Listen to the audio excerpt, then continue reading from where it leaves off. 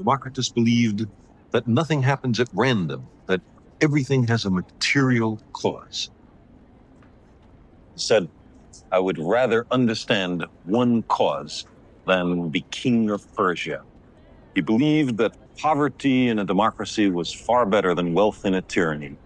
He believed that the prevailing religions of his time were evil and that neither souls nor mortal gods existed.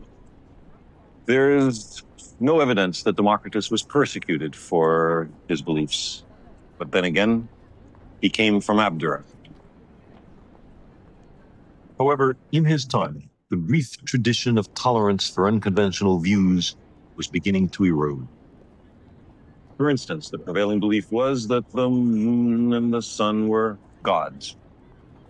Another contemporary of Democritus, named Anaxagoras, taught that the moon was a place made of ordinary matter and that the sun was a red hot stone far away in the sky.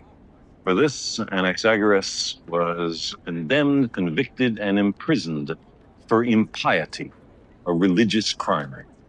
People began to be persecuted for their ideas.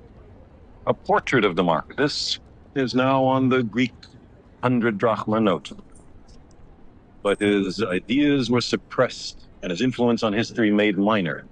The mystics were beginning to win.